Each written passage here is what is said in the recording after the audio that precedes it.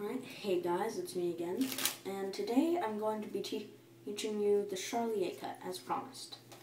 So, you're going to hold the deck in a straddle grip, just like this, and you're going to prop off about half of it with your index finger, just like that.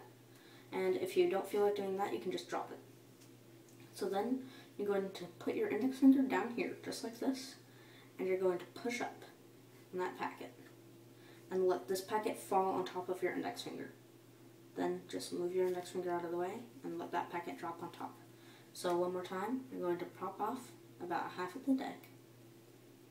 Put your index finger right here so you can push up this packet.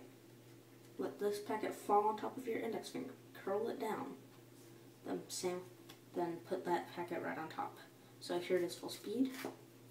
Like that, that's what it should look like a bit of practice you can get it done really well. And it's actually an essential part to Jerg 120's butterfly cut. I dropped a few cards.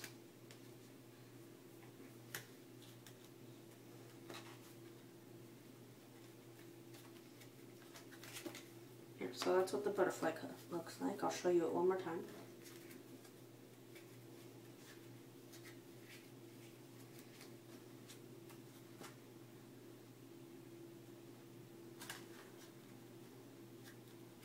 Sorry, I'm not the best at it. I just, I've been practicing for a while and it's quite difficult.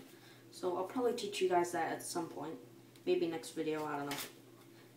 But yeah, that's about it. So I'll see you guys next time.